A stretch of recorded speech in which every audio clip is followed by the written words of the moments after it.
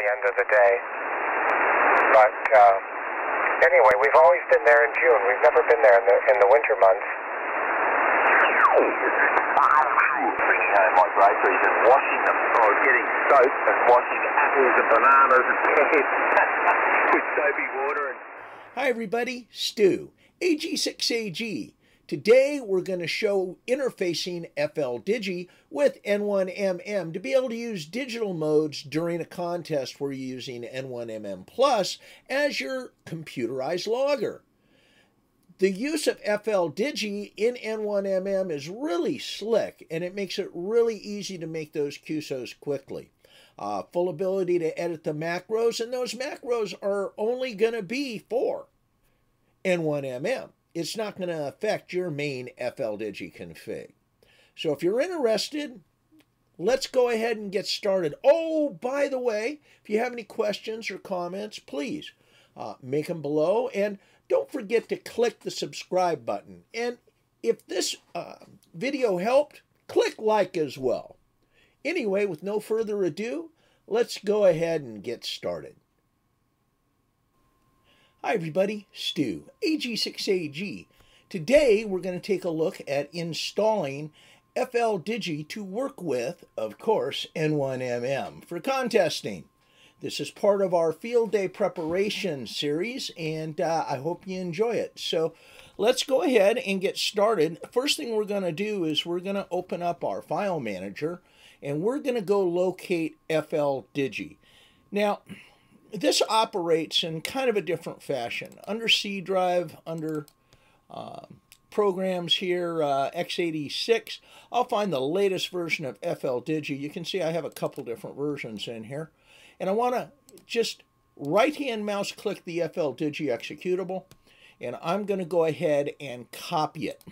Now, Believe it or not, we're going to go into our documents directory, and then here is our N1MM Logger Plus setup folder that we use for our own configuration. I'm going to create a directory in here, and I am going to call that directory FL Digi. I'm going to copy the FL Digi executable all by itself just hit paste here, into this directory. Now, if you're familiar with FL Digi, you understand there's all sorts of support files and everything else. Those will all be created in this directory. You're not actually using your original FL Digi install. You're going to be actually reconfiguring FL Digi from nothing for this.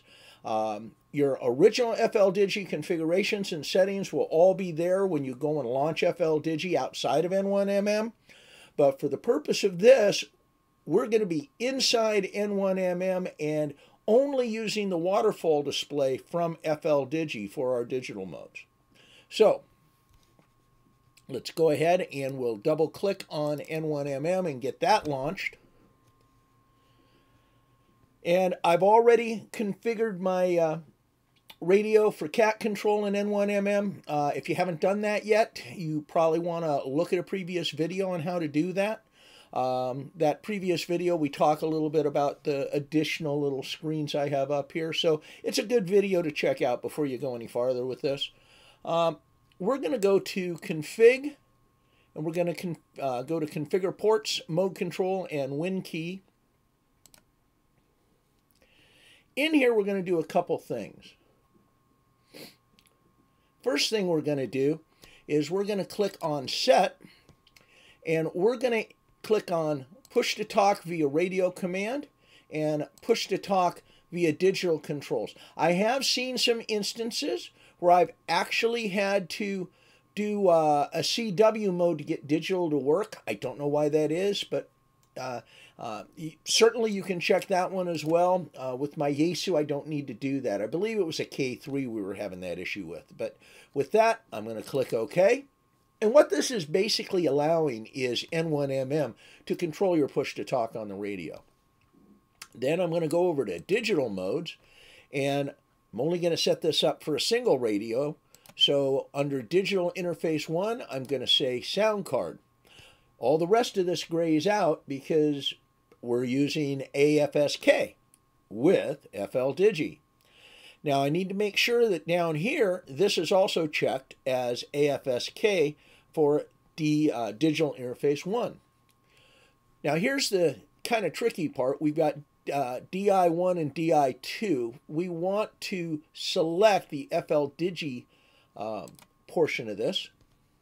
And we're going to go and identify where we have set FL Digi up right there under our documents directory where we copied that and dropped it in. And we're going to say OK. Now, mode control is an interesting subject with radios. For my Yaesu, I typically set up, uh, uh, use uh, contest or radio mode, and then what I will do is I will uh, I use uh, AFSK uh, R. That's the setting that my radio understands to be data USB or upper sideband. Uh, your radio will probably be different. Um, anyway, with that, that is actually all I really have to mess with here. I'll go ahead and click OK. Now, now that we have that all set up, I'm going to go ahead and I don't have to do this, but closing and reopening the software many times, uh, you know, makes things go a little bit smoother. Uh, again, you're changing some pretty good size configurations here. Uh, the other thing I'm going to do is I am going to go ahead and switch over to a digital frequency uh, that is known for PSK31. So uh, I'm on the right frequency. I'm going to verify that my power and everything is set up right and my tuner's in place and all that. You know, uh, the, the little things that make this stuff important. All right, so under Window, I'm now going to go to Digital Interface.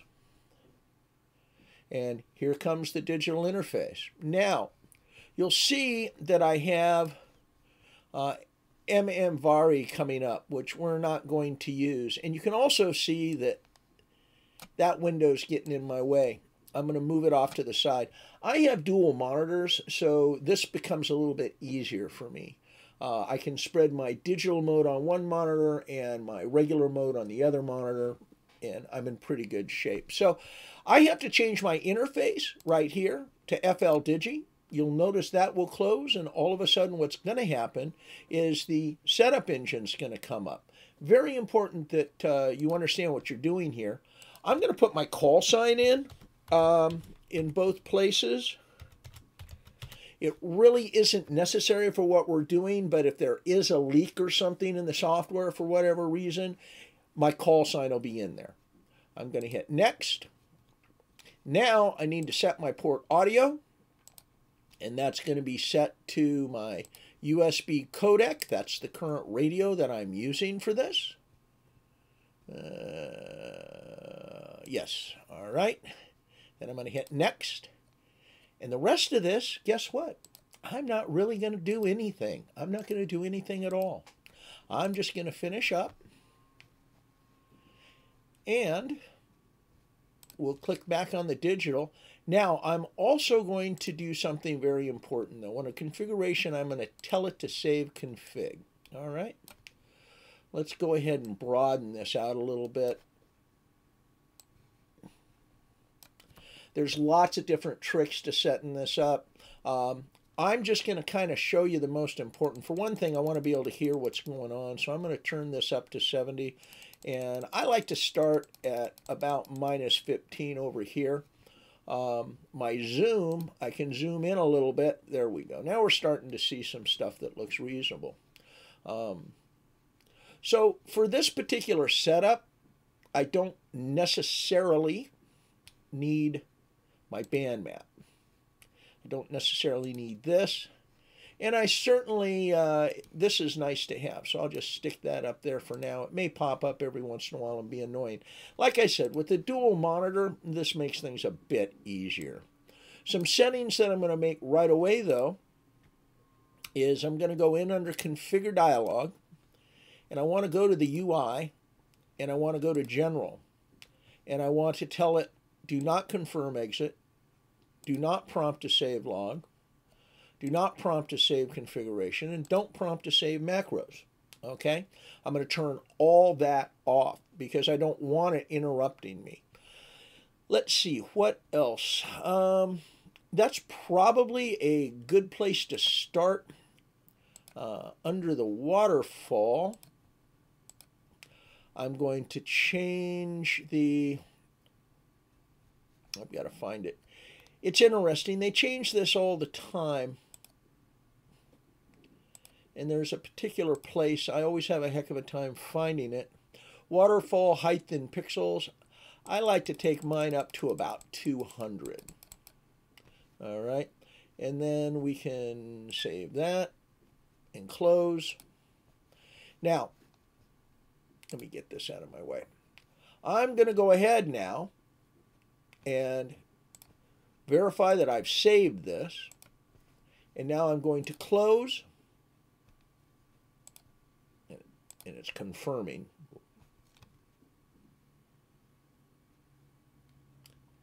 And then we will reopen it. Let's see here digital interface. There we go.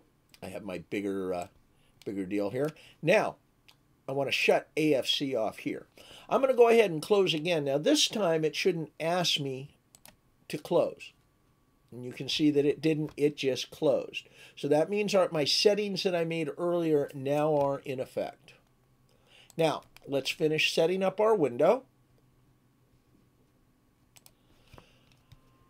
There's some key things that I want to change for my comfort level. In setup, I'm going to uh, turn that on, which is going to transfer my actual frequency offset. And let's see, uh, looking at what else I want to turn on. And to be honest with you, I think that's it. Of course, I always forget something, and your mileage is going to vary. You're going to have to set this up in whichever way you think it should be set up. There's all sorts of little bit adjustments here and everything else. Um, let's see. Add call sign. Spend space. I'm just looking here. Uh, do not, I'm not really worried about a lot of this. There we go. If QSY, uh, actually, that pretty much is right. I want to change this to FL Digi always on top. I don't have a shift frequency compensation. Uh, I actually like to use a combination of all of my lookup ability in order to verify call signs. I'm going to change the default RTTY interface to FLDigi and the default PSK interface to FLDigi. Um, and uh, we'll leave the window as normal. And I want my window to scroll. If I don't set that, then it's just going to stop scrolling and I'm, messages are going to pop up underneath the window itself, which is very annoying. Um, let me go ahead and click save settings, and what's going to happen is everything's going to close, and then it's going to restart. And just like that. And I tend to, let's see, I tend to go back in here and do the final stage of this. I actually go into settings and I go into message setup and I'm going to import messages. Now, if you've never dealt with digital messages before, um, you probably are going to want to edit your digital F keys. But for now, we're not going to sweat that too much. I've just hit import, uh, waiting for something to pop up. Come on. You're not going to let me do it from here, are you? All right. Let me right mouse click this and hit import. There we go. Okay, did you see what I did there? I went down to these boxes. I just right clicked one of them. It doesn't matter which one. And I hit import. Um, that looks like a little bit of a bug. And I can see if I can get that resolved with the uh, programmers. They, they are very responsive, by the way. Anyway, so I want to import uh, my default digital messages. Now, this exists under function key messages, and this is basically a scripting language. I'll show that to you, but let me go ahead and open this and save. Everything is going to reset again. Everything is going to launch back. Now we have all of our stuff here. Okay, these are all the F keys that you can use. The first set of F keys is the uh, run F keys, and the second set here, starting with F1 over here, is the search and pounce F keys. Interesting too that I've got a carrier out there. see if we can decode any of it. There we go. A little conversation going on. That's pretty cool. All right. So, um, anyway, that's basically the gist of setting it up. Um, you'll be using most likely your F keys rather than anything else. And of course, you're used to tuning if you've used FLDigi, which I'm assuming you have, and that's why you want to set this up. You'll be used to tuning up here with your mouse and being able to do adjustments with your mouse wheel and all that. That all works. Just remember to click back down in the window. And of course, you can click on a call sign right here just click once and it's going to go ahead and populate it right there, okay? Um, and then you can click your exchange, you're all set to go. Um, the only last thing I'm going to show you, okay, uh, F12, by the way, wipes everything. That's kind of cool. But let's go ahead and close the digital window. And I'm going to show you one more thing real quick. And that's going to be where those macro files are for your F keys. So I'm going to go to function keys and there it is. There's my digital default. What I typically do is I'll do a copy of it and I'll rename it to uh, oh digi dash uh, this contest whatever contest I'm doing then I'll just right hand mouse click, I'll open with Notepad. There we go. And I typically don't, I want to be asked, so I typically don't tell it to automatically open something. And here are all my macros. You can look up online as to what those macros are that are uh, in encased in the uh, squiggly brackets. There's a whole mess of them. This is pretty close to what you're going to be putting out. You may want to take the test and change it to the contest name. Uh, but again, that is how you do that. Once you get that edited and all set to go and renamed, all you got to do at that point is go in and open the log database. Here's the contest you've already created. Go to associated files, and here is where you change the digital file.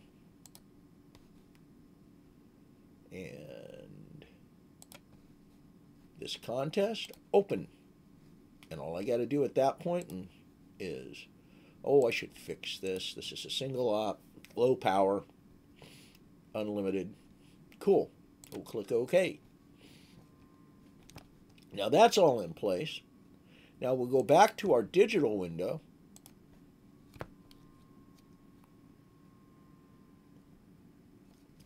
and we'll right click here again and again we'll import but we'll import the file that we just did. And then save. That's it folks. That's all there is to it. You're all set now to run FLDigi um, you can run PSK31 you can run um, uh, RTTY anything that is, PSK31 is or excuse me FL FLDigi is capable of running you certainly can choose it here. There's RTTY anyway, all right. So I hope you enjoyed this. I hope this was helpful. Um, and uh, this is AG6AG. Thanks again. Well, there you go. That's how you do it. FLDigi fully functional inside of N1MM Plus. Now you can do all those great digital modes, no problem at all. And everything gets done kind of automatically, so it works out really well. Um, if you have any questions, like I said, make them in the comments down below. And if you like the video, go ahead and click like. Oh, and to get uh, notifications, go ahead and subscribe to the channel and click on the notification bell. You'll get notified every time we release a new video. Anyway, thanks for joining us. This is AG6AG 73 to all, and I hope to hear you out on the air.